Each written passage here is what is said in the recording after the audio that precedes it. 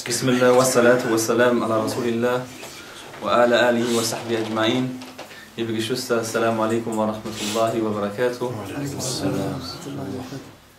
Ich hoffe, dass Allah subhanahu unsere Sitzung segnet, dass er uns bi'idnillah Baraka gibt.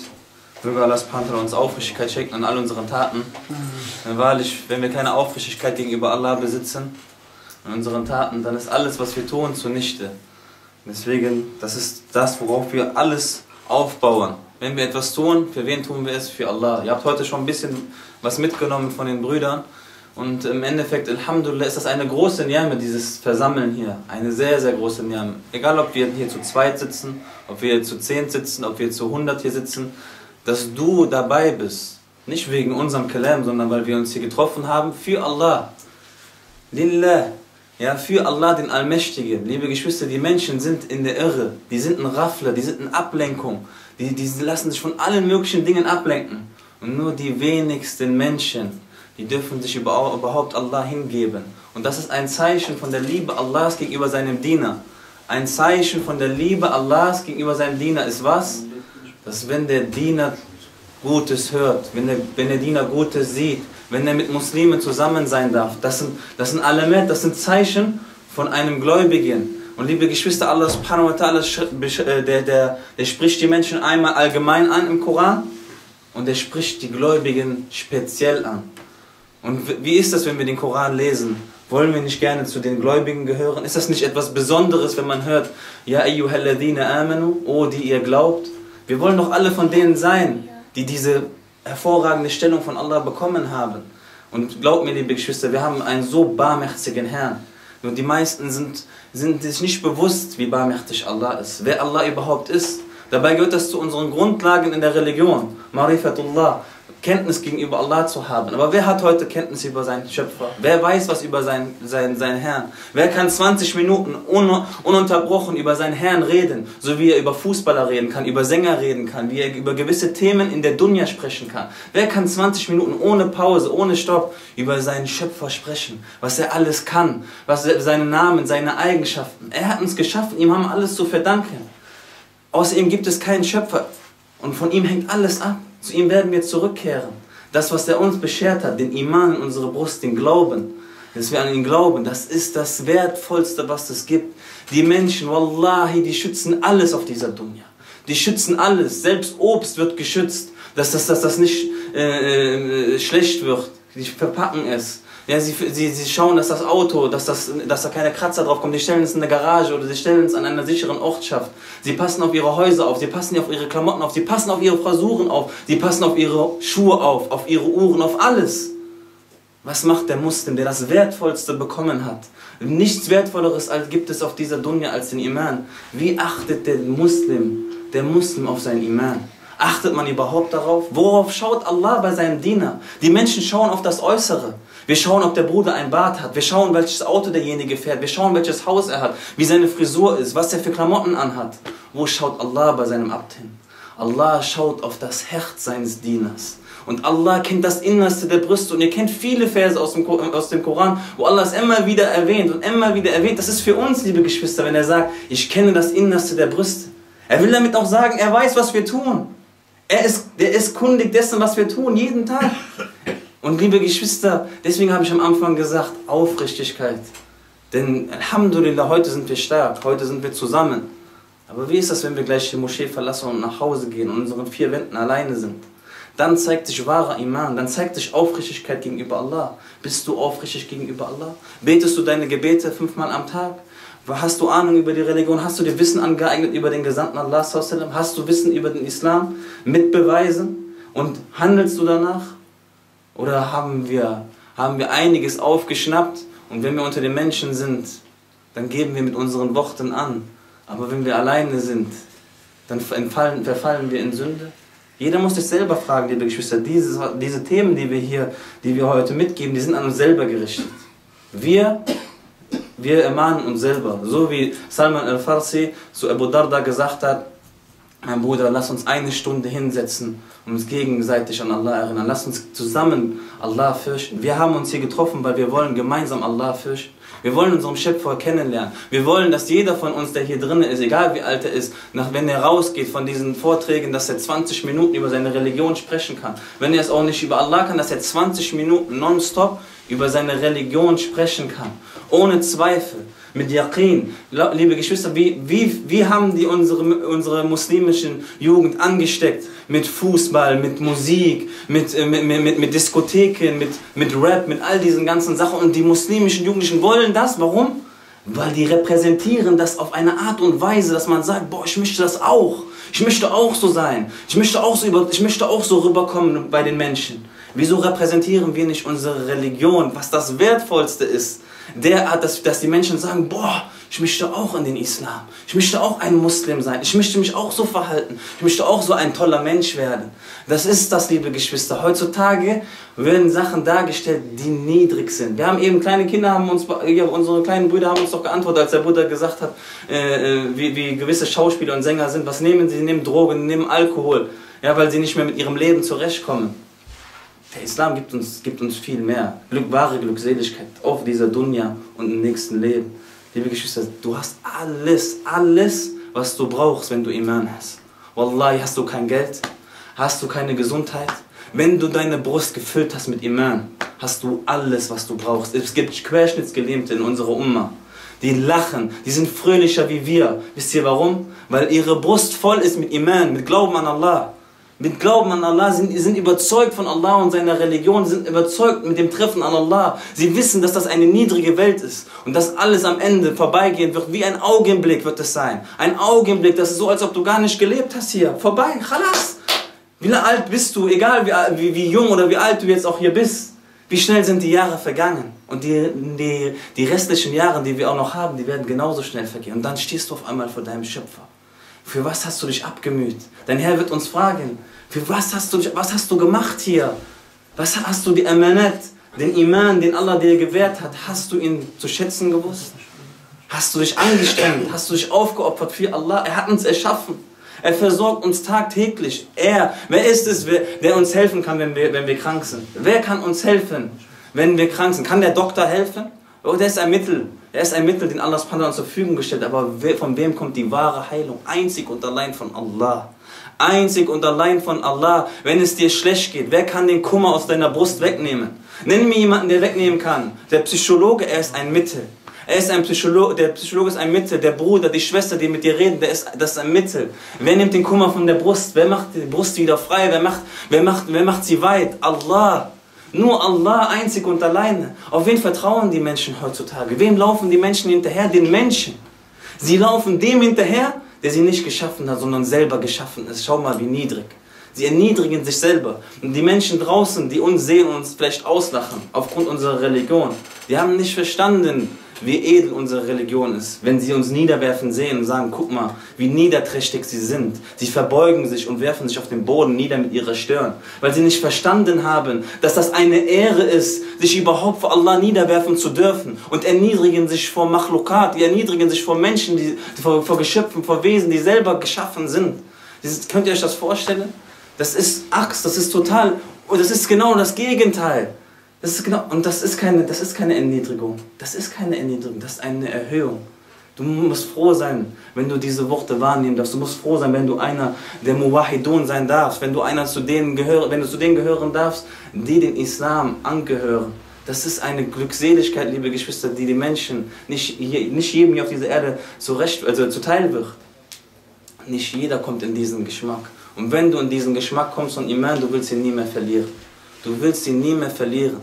Die Menschen rennen Glückseligkeit hinterher. Sie trinken, sie trinken viel Alkohol, sie nehmen Drogen, sie rauchen Zigaretten, um über gewisse Probleme hinwegzusehen, um den Kummer zu verlieren. Und danach, wie geht es ihnen danach? Ihnen geht es danach noch schlechter. Und wenn sie berauscht sind, das ist nur eine kurze Zeitspanne, eine kurze Zeitspanne, in der sie Geld ausgegeben haben, in der sie Zeit investiert haben und danach wachen sie mit dem Kater auf, haben weniger Geld in ihrem Portemonnaie und es geht ihnen schlechter als vorher. Aber die wahre Glückseligkeit findest du wo? Im Glauben an Allah. Er hat uns erschaffen, liebe Geschwister. Er weiß, was für uns gut ist. Ihr müsst kein, kein Bruder und keine Schwester auf dieser Dunja muss denken, dass irgendetwas, was uns auferlegt worden ist, dass es schlecht für uns ist. Wallahi, alles. Aber auch alles ist für den Diener selber. Allah ist unserer nicht bedürftig. Er ist unserer nicht bedürftig. Und alles, was wir machen müssen, ist zu unserem eigenen Vorteil in der Religion. Es gibt nichts, wo wir Allah subhanahu wa ta'ala seinen Reichtum dadurch mehren könnten. Es gibt nichts, wo wir ihn dadurch stärken könnten oder sonstiges, sondern es ist einzig und allein für den Diener selber. Er liebt uns, liebe Geschwister. Es gibt so viele Verse. Es gibt so viele Verse, wo er darauf eingeht. Und schaut mal, schaut, betrachtet den Koran. 113 Suren von 114 Suren, wie fangen sie an? Im Namen Allahs des Allerbarmers des Barmherzigen. Seht ihr diese Liebe? Sieht ihr diese Liebe gegenüber seiner Schöpfung? Er könnte auch mit anderen Namen anfangen, diese 113 Suren. Aber 113 Mal sagt er selber im Namen Allahs, des Allerbarmers, des Barmherzigen. Das ist der barmherzigste aller Barmherzigen, liebe Geschwister. Er hat sich, er hat sich seine Barmherzigkeit selber vor seinen Zorn, äh, hat er sich selber sozusagen auferlegt. Ja, also der hat, der hat, könnt ihr euch das vorstellen, die Barmherzigkeit überwiegt seinen Zorn. Allahu Akbar. Und wem kommt das zuteil? Uns. Uns, liebe Geschwister. Und wie viel Prozent ist hier auf dieser Dunja von seiner Barmherzigkeit? Ein Prozent. Und er hat das Paradies erschaffen. Für wen? Für seine Diener. 99 Prozent kommen drauf. Allahu Akbar. 99%. Prozent. Eine unvorstellbare, ein unvorstellbarer Ort, der so schön sein wird. Dort wird man niemals traurig sein. Dort wird man niemals weggehen wollen. Liebe Geschwister, das ist der Ort, den wir anstreben. Das ist der, das ist der Ort, wo wir unseren Schöpfer Beiznillah treffen werden. Seht ihr diese Liebe? Seht ihr diese Liebe? Er will nicht diese niedere Welt für uns. Er will nicht, dass wir hier glücklich sind. Er will nicht, dass wir uns hier sesshaft machen. Er will, dass wir zufrieden sind mit ihm und dass wir auf das nächste Leben pochen, dass wir uns anstrengen und abmühen, dass wir, wie er die Gläubigen im Koran, wie er sie beschreibt, dass sie, sich, dass sie wetteifern, dass sie wettstreiten, um was? Um Jannah, liebe Geschwister, um das Paradies, um die, Ware, um die Ware in Jannah sollen wir wetteifern. Diese Tage werden vergehen. Und hier gibt es Höhen und Tiefen, wie der Bruder gesagt hat, der Iman, der sinkt und steigt. Es ist keine Konstante hier. Hier gibt es keine Konstante. Aber wir sollten alles dran setzen, wir sollten alles dran setzen, dass wir ständig versuchen, in Gehorsamkeit zu leben. Wir werden es nicht schaffen. Wir werden Sünden, wir werden Sünden begehen. Allah hat uns so geschaffen. Er hat uns so geschaffen, dass wir immer wieder Sünden begehen werden. Und schaut mal, liebe Geschwister, ist das nicht eine Barmherzigkeit von Allah, dass er seinen ruhigen Diener liebt? Es gibt Verse im Koran, wo er es selber sagt, dass er denjenigen, der ruhig umkehrt, dass er ihn liebt. Allahu Akbar. Er liebt den ruhig um. Du hast gerade gesündigt. Du hast gerade gesündigt. Und du drehst, du wendest dich wieder zurück zu Allah. Und er ist damit zufrieden. Und er liebt den ruhig Umkehrenden. Allahu Akbar. Was ist, was ist das für ein Schöpfer? Was ist das für ein Herr? Was ist das für eine Barmherzigkeit, die wir begreifen müssen? Wir müssen unseren Herrn verstehen, liebe Geschwister, wie barmherzig er ist. Mit wem wir hier zu tun haben. Wenn du eine gute Tat beabsichtigst und sie nicht umsetzt, kriegst du dennoch für die Absicht, hast eine Hasanet gut eine gute Tat gut geschrieben. Und wenn du etwas Schlechtes beabsichtigst, liebe Geschwister, schaut mal, Allahu Akbar, wenn du etwas Schlechtes beabsichtigst, und du unterlässt die schlechte Tat, dann kriegst du auch eine gute Tat aufgeschrieben. Und setzt du sie um, setzt du sie um, wird der Engel auf der linken Seite nicht direkt anfangen zu schreiben, schaut euch die Barmherzigkeit von Allah an. Er wartet, er wartet. Denn es kann sein, dass sein Diener noch reuig, reuig wird, dass er noch bereut. Er will nicht direkt das Schlechte für uns. Das wird nicht direkt niedergeschrieben. Könnt ihr euch das vorstellen? Du, du, du hast gerade gesündigt. Aber der Engel auf der linken Seite, der schreibt nicht direkt nieder. Er schreibt nicht direkt nieder. Warum? Weil Allah der barmherzigste aller Barmherzigen ist. Er will nicht das Schlechte für uns. Er will, dass wir bereuen. Er will, dass wir zu ihm zurückkehren, damit diese schlechte Tat gar nicht erst niedergeschrieben wird. Was sagt Allah subhanahu auch im Koran? So wird Allah ein Volk hervorbringen, das er liebt und das ihn liebt. Seine Liebe kommt vor unsere Liebe, liebe Geschwister. Dass er liebt und das ihn liebt. Allahu Akbar. Seht ihr diese Barmherzigkeit? Was? Allah zuerst? Hat er es nötig? Braucht er uns? Nein. Aber er ist so barmherzig. Er ist der barmherzigste aller Barmherzigen. Wir müssen unseren Herrn verstehen, wie bar, wir müssen verstehen, wie barmherzig er ist. Er ist, ist nicht zu vergleichen mit Menschen. Schaut mal Ali im Abi Talib. Gesagt, wenn man ihn fragen würde, wer abrechnen soll am Tage des Gerichts, seine Eltern oder Allah, der gesagt, er wird niemals wollen, dass seine Eltern für ihn abrechnen. Er würde es ablehnen. Warum? Weil Allah Al-Wadud ist, weil Allah Ar-Rahman ist, Ar-Rahim ist, weil er, der, weil er der Liebevolle ist, der Barmherzige ist. Er will von ihm die Abrechnung. Nicht mal seine eigenen Eltern können ihm das wünschen und das geben, was Allah subhanahu wa ta'ala für ihn vorbereitet hat. Allahu Akbar. Schaut mal dieses Verständnis von den Salaf. Radiallahu anhum. Dieses, dieses edle Verständnis von Allah. Die haben verstanden, dass Allah subhanahu der Barmherzigste ist und sind zufrieden mit seiner Abrechnung. Wer würde sich nicht entscheiden für seine Eltern? Indem man dann in Sicherheit ist und man weiß ganz genau, die Eltern wollen für einen etwas Gutes. Aber Ali ibn Abi Talib, radiallahu anhu, wen wählt er? Er wählt Allah. Weil er seinen Schöpfer kannte. Er hat ihn gekannt, nicht mit den Worten, nicht, nicht nur einfach dahergesagt, sondern er hat es verinnerlicht und er hat es umgesetzt in den Taten. Und er hat ihn wahrhaftig geliebt. Er hat ihn wahrhaftig für seine Barmherzigkeit geliebt. Und das ist das, liebe Geschwister. Wir müssen anfangen, bevor wir mit gewissen Dingen in der Religion anfangen, müssen wir anfangen, ehrlich zu sein gegenüber Allah. Ehrlich gegenüber Allah. Wir können uns selber belügen. Wir können uns selber betrügen.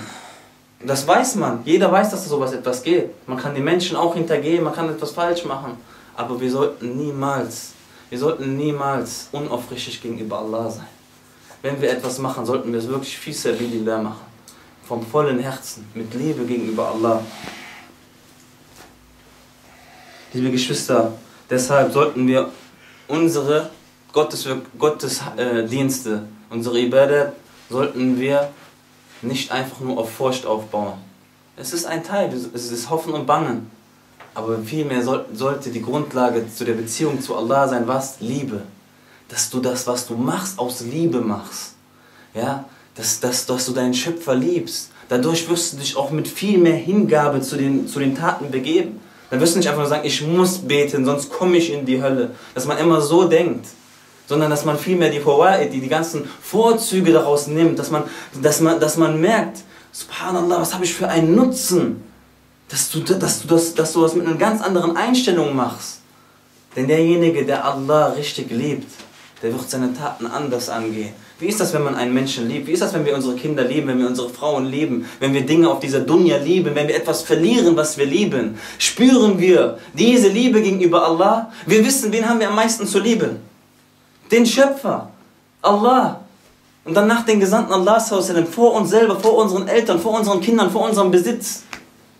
Aber ist es auch in der Tat so? Deswegen sage ich Ehrlichkeit gegenüber Allah. Reden können wir alle. Ich kann mich hier vorne hinsetzen und reden. Diese Worte gehen als allererstes an mich. Dass man wirklich ehrlich und aufrichtig gegenüber Allah ist, dass man ihn wahrhaftig liebt. Ich habe euch gerade das Beispiel gegeben, wenn du etwas verlierst, was du liebst, was dir wertvoll ist, dann spürst du diesen, diesen Schmerz, dass du dein Portemonnaie verloren hast, dass du deine Arbeit verloren hast, dass du jemanden Liebenden, der gelebt hat, der gestorben ist, dass du, dass du ihn verloren hast. Du trauerst. Wie ist das, wenn dein Iman, wenn er von deiner Brust weggeht, wenn er entnommen wird? Verspürst du da auch? Verspürst du auch, dass, dass du gerade in einer schlimmen Situation bist, dass du dich Allah entfernt hast? Liebe Geschwister, wenn Allah Azzawajal jemanden liebt, was macht er? Schaut mal die Liebe von Allah. Wenn er jemanden liebt, ruft er Jibril. Er ruft Jibril a.s. Könnt ihr euch das vorstellen? Manche Menschen, die trauen sich, die trauen sich vielleicht nicht zu, zu, zu den Menschen zu sagen, dass sie ihren Schöpfer lieben. Er ruft Jibril a.s. und sagt zu ihm, Jibril, ich liebe Muhammad, ich liebe Abdullah. Er nennt den Namen und er, nennt, der, sagt, der sagt Jibril, wen er liebt. Und es kann sein, dass gerade einer unter uns hier sitzt oder mehrere, die hier gerade anwesend sind, deren Name im Himmel ausgerufen wird bei Allah Azzawajal und er ruft Jibril und sagt, ich liebe den so und so. So liebe du ihn auch. Und was macht Jibril danach? Er geht dann zu den Himmelbewohnern und ruft den Namen desjenigen aus, den er liebt, den Allah dann sagt, Allah liebt den so und so. So, und ich liebe ihn auch, so liebt ihn auch. Könnt ihr euch das vorstellen? Allah verkündet die Liebe seines Dieners im Himmel. Bei besseren, bei besseren, bei besseren äh, ähm, Kreisen als unseren Kreisen, liebe Geschwister. Und wer, wer, wer, wer, wer gibt seine Liebe gegenüber Allah hier auf dieser Erde kund? Wer traut sich zu sagen unter den Menschen in gewissen Momenten, ich liebe Allah? Vielleicht denkt der ein oder andere, boah, wenn ich das jetzt sage, dann, wird der, dann werden die Menschen denken, ich hab's nicht mehr alle. Aber Allah, wenn er seinen Diener liebt, der erwähnt dich bei den besten Geschöpfen. Er erwähnt dich bei Jibril a.s. Könnt ihr euch das vorstellen? Allah, was für eine Ehre. Was für eine Ehre, liebe Geschwister. Möge Allah subhanahu uns, Allah subhanahu uns dies zuteil werden lassen.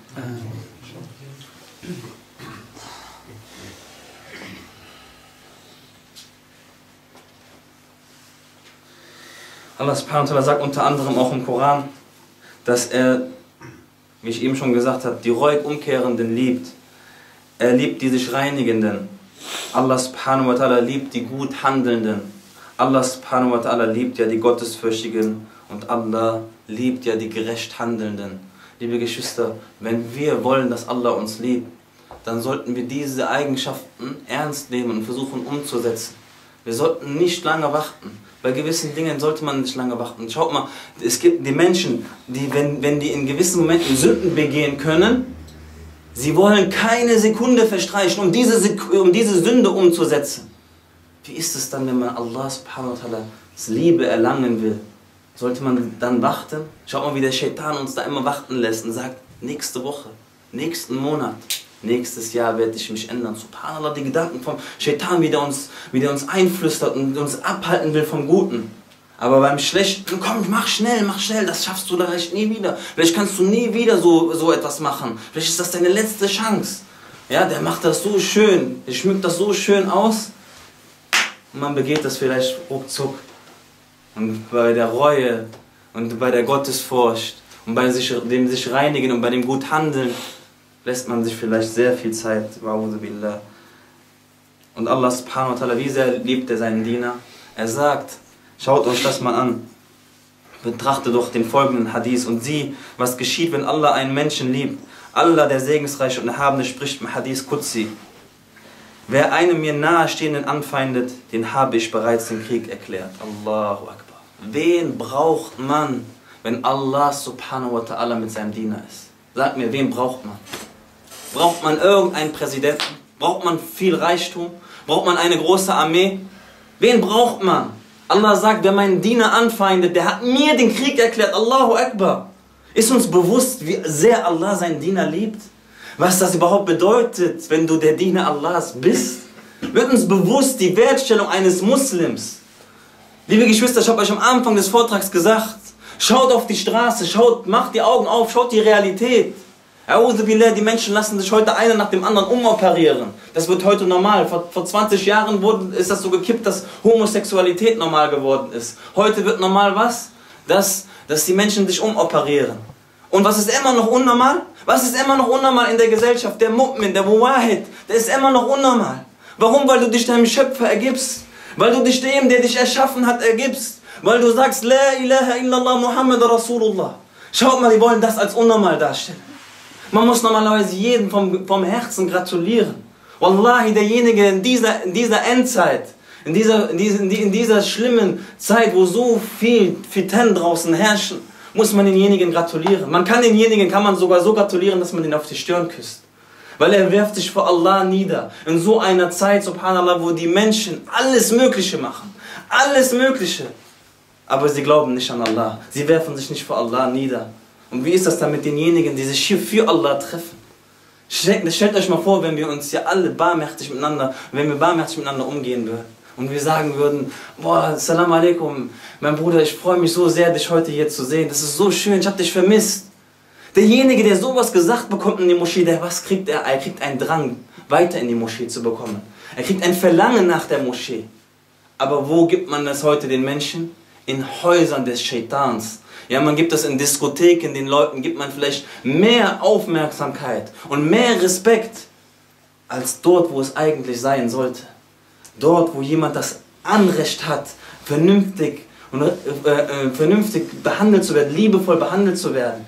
Stattdessen wird es in Räumlichkeiten gemacht, wo Alkohol geflossen wird, wo Alkohol fließt, wo, wo Musik gespielt, abgespielt wird, wo getanzt wird, wo Männer und Frauen sich mischen, wo man bereit ist für, den, für, für, für seinen Freund, ich rede nicht von einem Bruder, für seinen Freund eine, eine Flasche auf den Kopf zu bekommen und am nächsten Tag geht man wieder gemeinsam dahin.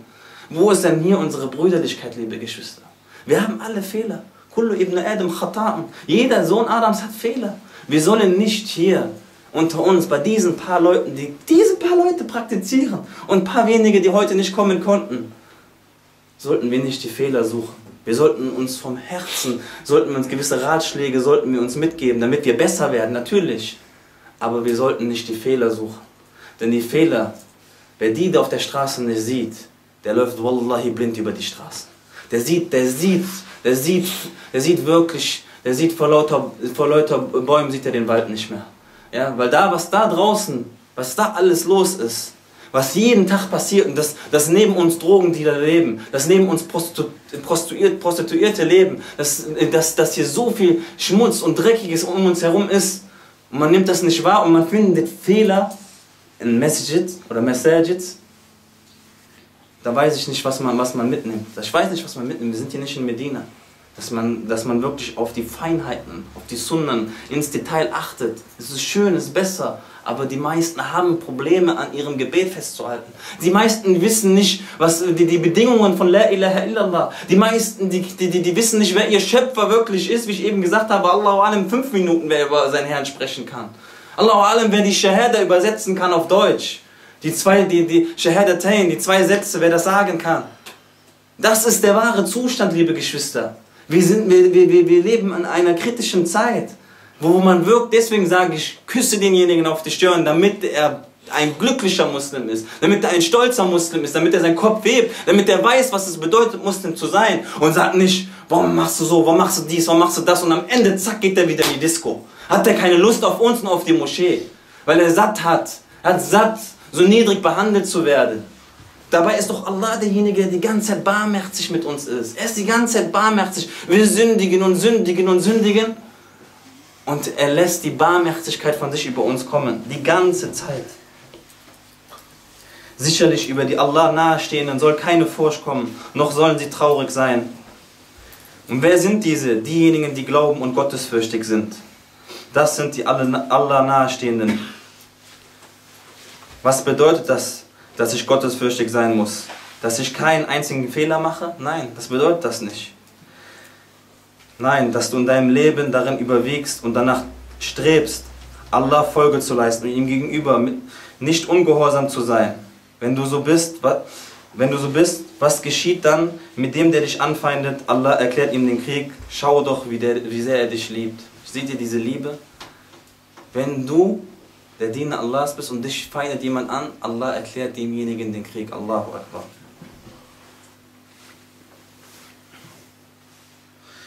Dann gibt es diesen Hadith, liebe Geschwister, ihr kennt ihn bestimmt, dass der, dass, der, dass der Diener Allahs sich mit nichts nähert, was Allah lieber ist, als die Pflichten. Ja, das, was Allah uns verpflichtend gemacht hat. Und wir nähern uns Allah subhanahu wa ta'ala mit nichts anderem, wodurch wir seine Liebe erreichen, außer dadurch, dass wir noch zusätzliche Taten begehen. Ja? Sunnah, dass wir noch zusätzliche gute Taten begehen, dass wir Sunnah machen, dass wir, die, dass wir den Propheten sallallahu alaihi wasallam befolgen, den Dingen, die nicht verpflichtend sind. Liebe Geschwister, habt ihr verstanden? Denn bis Allah uns dann liebt, ja? wir nähern uns ihm nicht mit etwas, was, was besser ist als die Pflichten und wir schmücken das aus durch die, durch die zusätzlichen gottesdienstlichen Handlungen, bis er uns liebt. Und jetzt kommt der Höhepunkt, liebe Geschwister. Und wenn wir dies erreichen, dass er uns liebt, was passiert dann? Und mein Diener fährt fort. Das fährt fort, hängt von jedem und seiner Tüchtigkeit ab. Und mein Diener fährt fort, sich mir durch zusätzliche Frömmigkeit zu nähern, bis Allah subhanahu wa ta'ala ihn liebt. Und was passiert, wenn Allah subhanahu wa ta'ala einen liebt? Schau, was dann passiert, mein Bruder, meine Schwester. Wenn du diese Stufe Allahs erklommen hast, und wenn ich ihn liebe, bin ich sein Hören. Könnt ihr euch das vorstellen? Allah, seht ihr diese Barmherzigkeit von Allah? Er sagt, dann bist du mein Hören. Dann bin ich sein Hören. Mit dem er hört. Er lässt dich nur Erlaubtes hören, nur Schönes. Und wenn du Unerlaubtes hörst, lässt er es gleich aus deinem Ohr verschwinden. Und wenn er es nicht verschwinden lässt, lässt er dich davon profitieren, dass du die Fehler der Unrechthandelnden erkennst und sie selbst, und selbst nicht machst. Schaut mal, seht ihr, seht ihr wie, schön das ist? Könnt ihr euch das vorstellen? Allah sagt, wenn er euch liebt, dann ist er das, dann ist er euer Gehör, liebe Geschwister. Allahu Akbar. Und es geht weiter.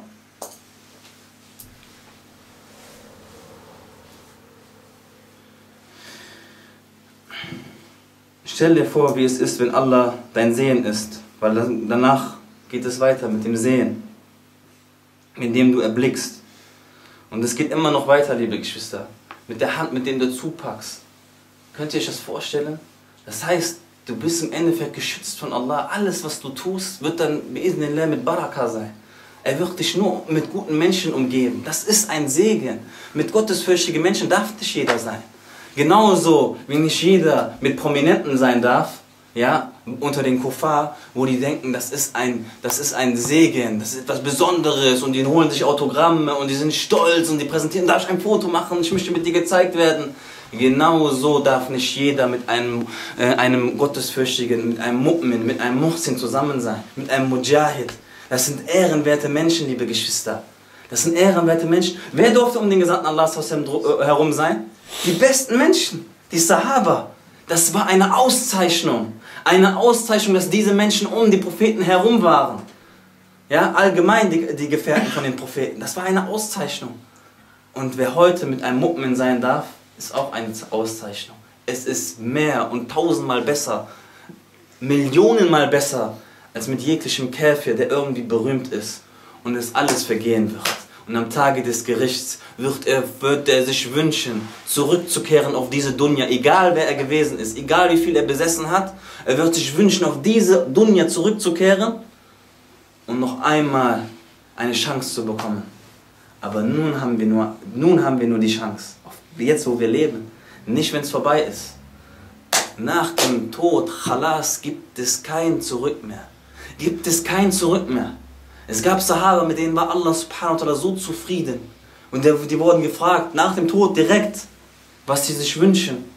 Und einer hat gesagt, ich wünsche mir nochmal zurückzukommen auf diese Erde. Und Allah hat gesagt, das geht nicht. Das habe ich keinen meiner Diener. Keiner meiner Diener, der den Tod, der, der, der, der gestorben ist, werde ich das gewähren, dass er nochmal hier auf diese Dunya zurückkehrt. Aber danach hat er offenbart, dass diejenigen, die auf dem Wege Allahs gekämpft haben und gefallen sind, dass sie nicht tot sind.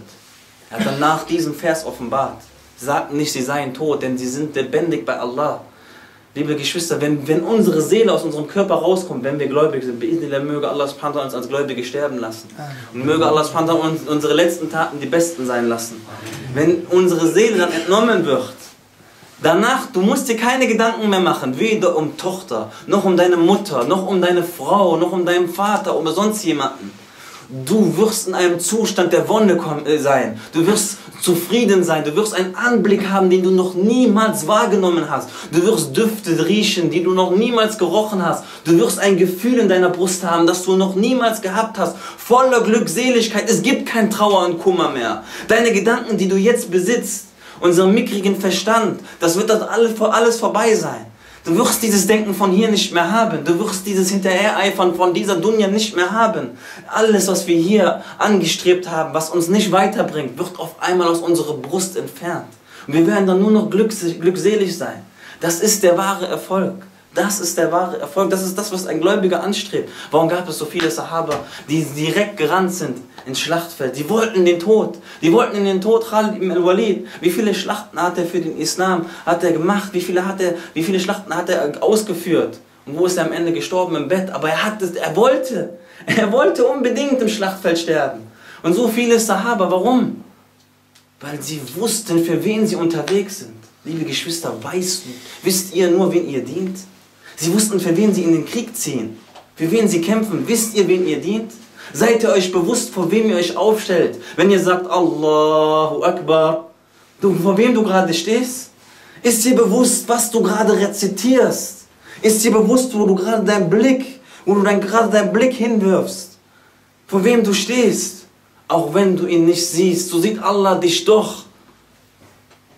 Und Allah ist unsere unbedürftig. Glaub mir, wenn wir Allah erkennen, wenn wir wissen, wer Allah ist, wenn wir uns mit den Namen und Eigenschaften Allahs, wenn wir uns damit auseinandersetzen, das stärkt einmal unseren Iman und es wird die Demut, es wird die Demut mehren, es wird die Gottesfurcht mehren, es wird den Hunger, du wirst einen Hunger, Hunger verspüren, einen seelischen Durst, wirst du verspüren, dass du, dass du immer mehr wissen willst, immer mehr Koran rezitieren, immer mehr Koran lesen, immer mehr, mehr, mehr, mehr lernen. Weil du, du wirst auf einmal nicht gesättigt. Du, wirst nicht, du kriegst nicht genug. Genauso wie wir jetzt hier in dieser Runde, wo wir die ganze Zeit über Allah und seinen Gesandten reden können und wir sagen, boah, wir können weiter und weiter und weiter und am liebsten kein Ende finden wollen. Genauso ist das, wenn du, den, wenn du die Stufe des Iman erreichst. Wenn du in die Stufe des Iman bekommst, kriegst du, kriegst du nicht genug. Du willst nicht mal aufhören. Morgen fahren wir wieder nach Hause, bi'idnillah. Dann ist das hier wieder vorbei und dann wird es Tage geben unter der Woche, wo wir uns wünschen werden. Wir werden uns wünschen, Wallahi, wir werden uns wünschen, wieder solche Tage zu haben. Wir werden sehnsüchtig auf solche Tage warten, weil wir werden alle dann wieder geprüft im alltäglichen Leben, in der Schule, auf der Arbeit, zu Hause, auf der Straße, im Einkaufsmarkt. Dann kommt die Realität wieder und dann wirst du dich an diese Momenten hier erinnern und du wirst wünschen, so einen Moment nochmal zu spüren, nochmal nochmal mit deinen Brüdern zusammenzukommen, nochmal diese Mehabba zu, zu, zu, zu, zu, zu wahrzunehmen. Denn dort draußen nimmt man diese eisige Kälte wahr. Es kann 40 Grad in diesem Land sein. Aber was man hier empfindet, das ist viel Kälte, viel Kaltes. Das kriegst du da draußen nicht. Das, was hier gerade, was, was wir hier durch unser, nur unser Zusammenkommen, selbst wenn wir nur eine Pizza zusammen essen und dabei sagen Bismillah und mal einen Hadith erwähnen oder einen Vers aus dem Koran, dass wir uns sehen, dass wir sagen Assalamu alaikum, unser Iman steigt. Allahu Akbar. Schau dir diese Baraka an. Schau dir diese Baraka an. Wir haben, gestern haben wir uns mit unseren Brüdern getroffen und äh, wir haben ein bisschen gegrillt und das war eine kleine Gruppe. Und zwei Brüder sagen zu mir, boah, das war so schön. Das, das, das, ich konnte nicht genug davon bekommen. Das hat so gut getan. Es wurde nicht viel unterrichtet, es wurde nicht viel geredet. Einfach das Zusammenkommen für wen? Für Allah. Für Allah speisen, für Allah zusammensitzen, zusammen lachen. Das bringt unsere Herzen, Alhamdulillah, wieder zum Blühen. Und das brauchen wir gerade in dieser schweren Zeit.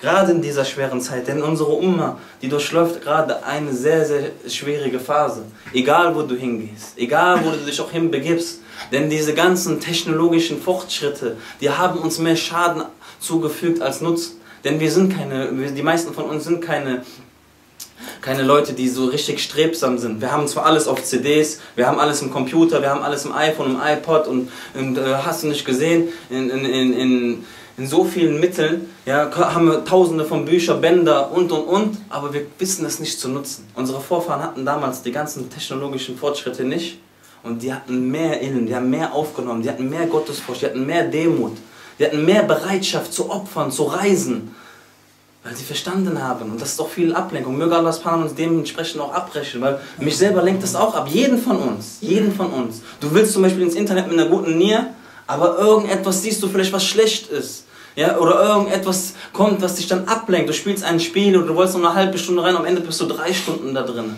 Das ist diese heutige Zeit, ja, wo, wo viel Zeit einfach so verloren geht. Einfach so für Nutzloses. Aber wenn du ein Buch in die Hand nimmst, mit derselben Zeit, Drei Stunden, aber was die meisten von uns nicht schaffen.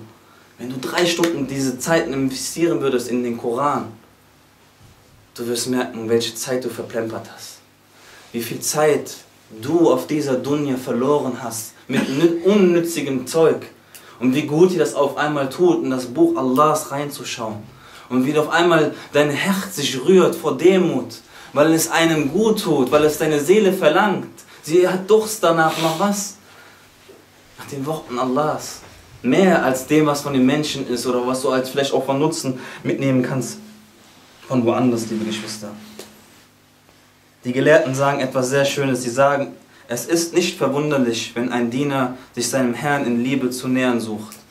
Wenn der Diener sich seinem Herrn zu nähern sucht, ist nichts Verwunderliches. Aber es ist erstaunlich und wunderbar, wenn der König sich seinem Diener in Liebe zu nähern sucht. Allah subhanahu wa ta'ala Allah, der Allmächtige, er ruft, er ruft jede Nacht, wer ist es, der mich ruft? Wer ist es, der mich ruft, damit ich ihm gebe, damit ich ihm gewähre? Könnt ihr euch das vorstellen? Jede Nacht. Egal, was wir die ganzen Jahre, Monate und Wochen gemacht haben, ob wir dieses Treffen wahrgenommen haben oder nicht im letzten Drittel der Nacht, er kommt jede Nacht wieder herunter jede Nacht wieder herunter und er wartet auf wen? Auf seine gläubigen Diener. Er wartet auf die, die reuig umkehren, die etwas, die etwas begangen haben, was sie nicht begehen wollten. Was, sie sind in etwas reingekommen, wo sie nicht rein wollten. Sie wollen sich wieder reinwaschen. Sie haben ein Anliegen. Die Menschen können nicht helfen. Wer ist da? Wer kann dir helfen? Wer kann dir helfen? Wer kann dir aus dem Kummer wieder heraushelfen? Allah. Und er kommt jede Nacht. Hast du die letzten zehn Jahre dieses Treffen nicht wahrgenommen? Kein Problem, er kommt diese Nacht wieder. Hast du die letzten 20 Jahre nicht wahrgenommen? Kein Problem, er kommt diese Nacht wieder. Nimmst du auch die nächsten zehn Jahre nicht wahr und du lebst nach den nächsten zehn Jahren immer noch? Kein Problem, er kommt danach immer noch. Er wartet. Er wartet auf seinen Diener und ruft aus. Wer ist es? Wer ist es, der mich bittet, damit ich seinen Ruf erhöre? Könnt ihr euch das vorstellen? Damit ich ihm gebe. Er will geben. Der verlangt. Derjenige, der verlangt. Und er will, dass wir verlangen. Der Gesandte Allah, sallallahu alaihi wasallam, was sagt er?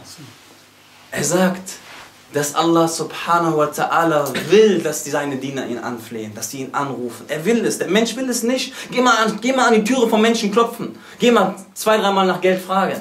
Irgendwann wird sogar deine Mutter sagen, Mensch, Junge, du musst arbeiten, du musst was tun. Du kannst nicht die ganze Zeit immer zu mir kommen und Geld verlangen. Deine eigene Mutter, die normalerweise so barmherzig mit uns ist. Allah liebt es, liebe Geschwister. Nicht zu vergleichen mit den Menschen. Er liebt es. Klopf so oft, wie du willst. Geh jeden Tag ins Gebet und rufe Allah und sag, ja Allah, ich brauche, ich bitte dich. Ich kann nur die Hilfe durch dich bekommen. Ich kann nur Reichtum durch dich bekommen. Er liebt es. Er liebt es, angefleht zu werden. Er liebt es. Genau das, das ist genau umgekehrt zu demjenigen, der geschaffen ist. Der Geschaffene, der, der fühlt sich irgendwann genervt. Beim zweiten, dritten Mal im selben Anliegen sagst du, ja, Bruder, das kann doch nicht sein. Langsam musst du dein Leben selber in den Griff kriegen. Ich habe dir geholfen, erste, zweite, dritte Mal, aber jetzt vierte, fünfte Mal. Irgendwann ist gut. Ich muss auch selber nach meiner eigenen Familie schauen. Das ist der Mensch, weil wir sind schwach. Aber der Mensch, wo rennt er als meist, am meisten hin? Er rennt zu den Menschen zu an. Ajib. Der Mensch ist Ajib. Wallahi, der ist Ajib. Wir sind voll Ajib. Wir haben, wir haben jemanden, der uns wahrhaftig helfen kann, der uns wahrhaftig alles gibt aber die Menschen rennen in erster Linie zu den Menschen.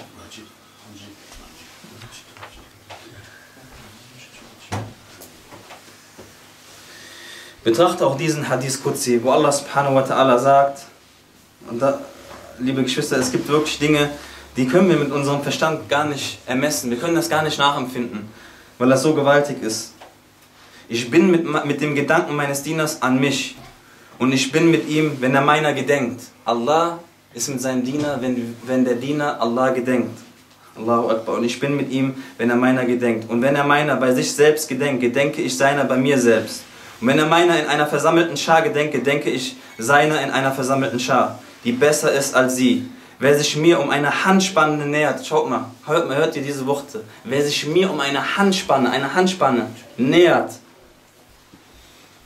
Ich weiß, dass ihr alle auch diesen Hadith kennt. Doch wenn, ihr sie nach, wenn wir sie nacheinander aufzählen, wird inshallah, so Gott will, klar werden, wie sehr unser Herr, man kann es kaum in Worte fassen, wie sehr Allah die Menschen liebt und sich ihnen in Liebe nähert. Wer sich mir um eine Handspanne nähert, dem nähere ich mich um eine Elle. Um eine Elle, liebe Geschwister.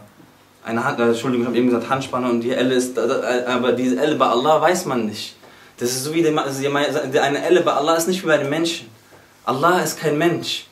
Und, das ist, und das, wir wissen, dass der, erste, dass der erste Himmel im Vergleich zum zweiten Himmel wie ein Sandkorn in der Wüste ist. Und der zweite im dritten auch wie ein Sandkorn. Und der dritte im vierten Himmel wie ein Sandkorn in der Wüste. Und der fünfte auch zum sechsten und der sechste zum siebten. Und der siebte zum Thron Allahs ist wie ein Sandkorn in der Wüste.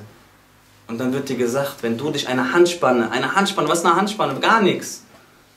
Wenn du dich eine Handspanne gegenüber Allah näherst, nähert er sich dir um eine Elle. Allahu Akbar, das ist Allah. Und die Elle bei Allah, wie ich gerade gesagt habe, wir wissen nicht. Wir wissen nur, dass Allah sich in, in, äh, sinngemäß so nähert. Und wer zu mir gegangen kommt, zu dem komme ich eilends gelaufen. Allah sagt, wer, wer zu ihm gegangen kommt, zu ihm komme ich eilends gelaufen. Allah, eilends, eilends. Betonung liegt hier bei eilends gelaufen. Das ist ein Hadith Qudsi. Könnt ihr, euch das, könnt ihr euch diese Barmherzigkeit vorstellen?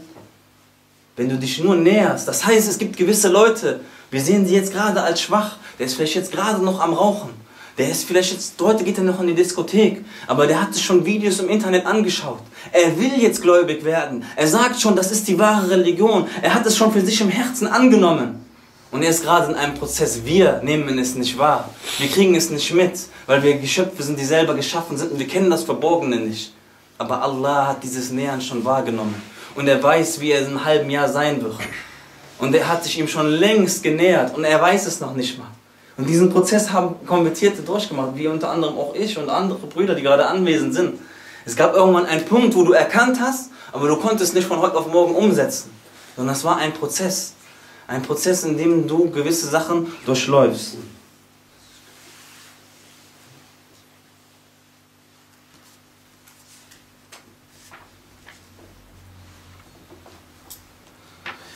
Und liebe Geschwister, das, das Gebet, die Al-Fatiha zum Beispiel, Allah Azzawajal sagt, sagt auch wieder hier, ich habe das Gebet zwischen mir und meinem Diener in zwei Hälften geteilt.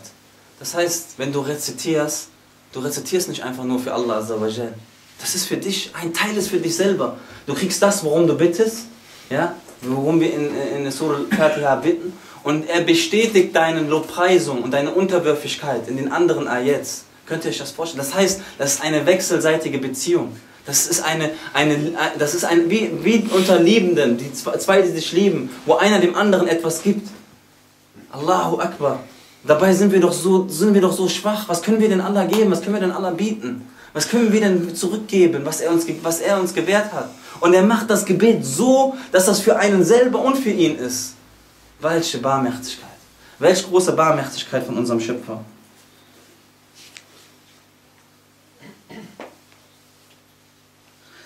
Wer schon, das, das ist ein kleines Gedicht, das, wer schon im Zorn mit dir so gütig, sein Lohn in Freude über dich wird sein unermesslich. Wenn jemand dich schon so gut behandelt, wenn du Sünden begehst und er ist, ist zornig und er hat sein, seine Barmherzigkeit gegenüber seinem Zorn vorgeschrieben, ja, wie ist es dann erst, wenn er mit dir zufrieden ist?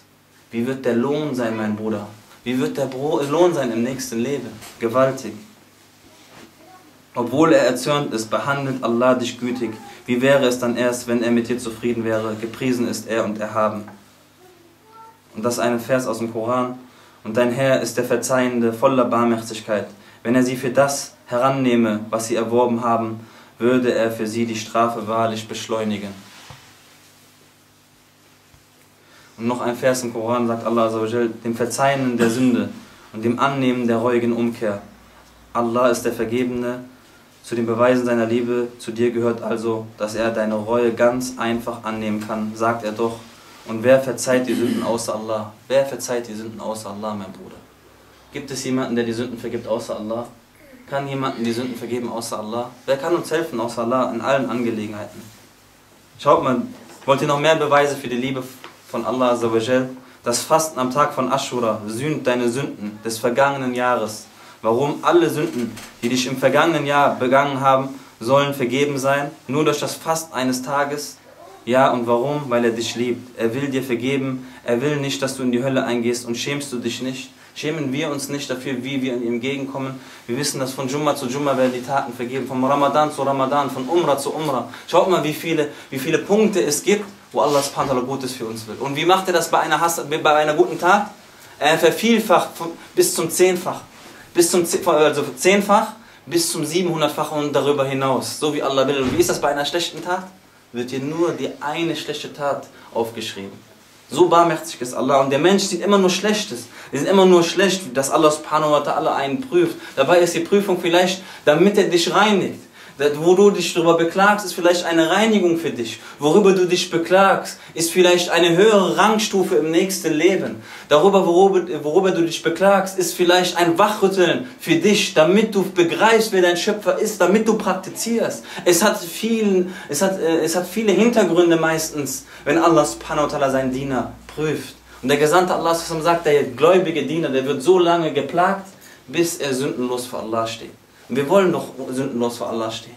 Wir wollen doch nicht, dass wir eine jahrelange, tausende, äh, tausende von Jahren der Abrechnung bekommen. Unter, unter der Sonne, wo es keinen Schatten geben wird, außer den Schatten von Allah. Wer will schon so eine, wer will schon so eine Abrechnung unterzogen bekommen? Keiner, liebe Geschwister.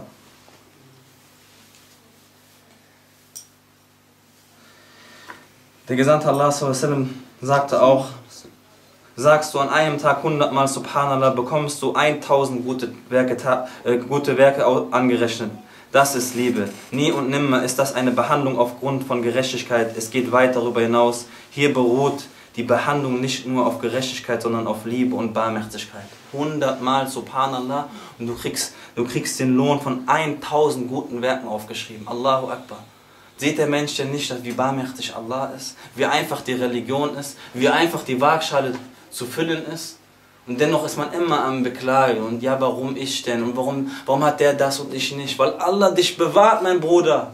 Weil Allah Gutes für dich will. Hättest du das, was du bei deinem Bruder siehst oder bei deiner Schwester siehst, würdest du vielleicht nicht dort, würdest, wärst du vielleicht nicht das, was du bist. Du wirst vielleicht abgelenkt sein vom Glauben, weil du siehst etwas gut für dich, was im Endeffekt vielleicht schlecht für einen ist. Wer kennt uns am besten? Wer kennt uns am besten? Kennt uns jemand besser als der, der uns erschaffen hat? Kennt uns jemand besser?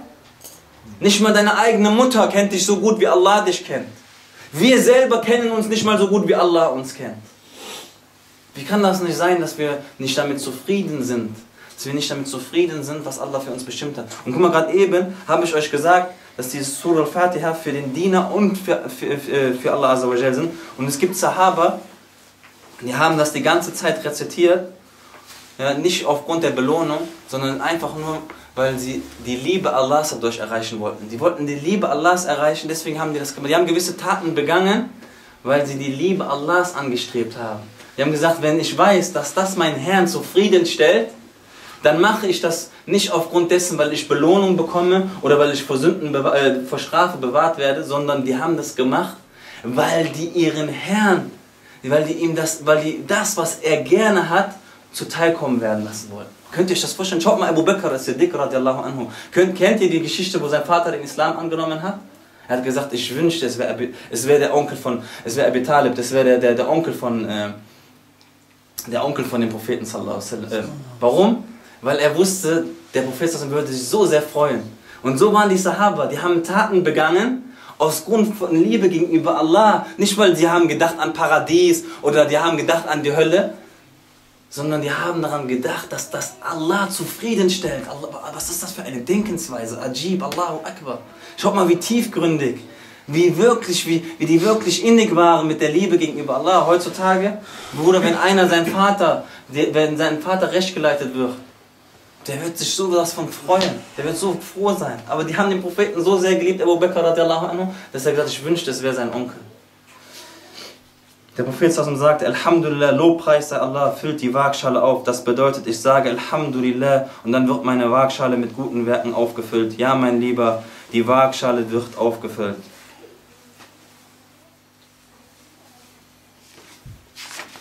Wir kommen jetzt auch zum Ende. Es gibt so viele Sachen, die man erwähnen kann, wo, wo, die, wo die Liebe des, des Allmächtigen bekannt wird. Es gibt auch viele Namen von Allah subhanahu wa ta'ala. Schau mal, Allah subhanahu wa ta'ala hat, hat, ja, hat ja viele Namen und die meisten oder viele der Namen von Allah azawajal, die sind, das sind Namen der Barmherzigkeit. Ja? Viele Namen von Allah subhanahu wa ta'ala sind Namen der Barmherzigkeit, wie zum Beispiel Ar-Rahman, der Allerbarmer, Ar-Rahim, der Barmherzige, Al-Ghafur, der Verzeihende, Al-Tawwab, der Vergebende, dann Al-Ra'uf, der Gütige, Al-Wadud, der Liebevolle, Al-Halim, der Milde, Al-Sabur, der Geduldige, Al-Karim, der Edelmütige, Al-Shakur, der Dankende, Al-Latif, der Feinsinnige. Es gibt so viele Namen, liebe Geschwister von Allah, und noch andere, die ich jetzt nicht aufgezählt habe, wo du die Barmherzigkeit von Allah Azawajal zu spüren bekommst, wo die dir zuteil wird. Aber der Mensch, der sieht so wenig, er sieht so wenig, wie ich eben gesagt habe, der sieht draußen den ganzen Munker, der sieht den ganzen Facet, sieht er nicht, der kommt in eine Moschee und da muss er jetzt Amr bin Maruf machen. Da muss er jetzt anfangen, das Gute zu gebieten, das Schlechte zu verbieten. Und dann noch wie? Ist ja gut, wenn er das macht. Wenn du das mit Hikmah machst, wenn du deinem Bruder eine Nasiha vom Herzen gibst. Wie macht man das heutzutage mit der Kelle? Ja, man holt, man holt die Keule raus und dann geht's los. Bruder, ittaqillah. Wallahi, keiner von uns, keiner nimmt von uns auf eine groben, Seite, äh, groben Art an. Keiner von uns nimmt von einer groben Art an.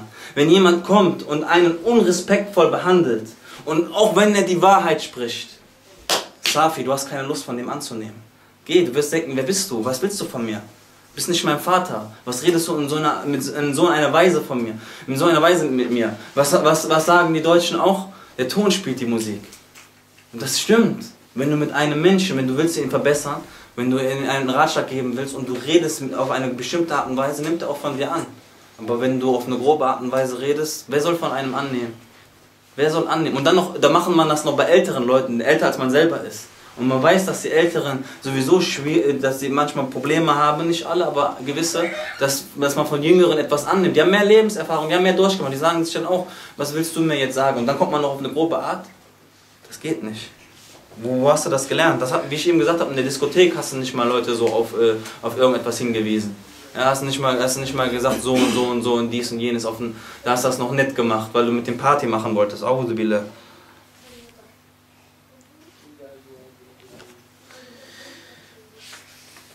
Schade waren das meine Worte. Das ist jetzt auch zu viel.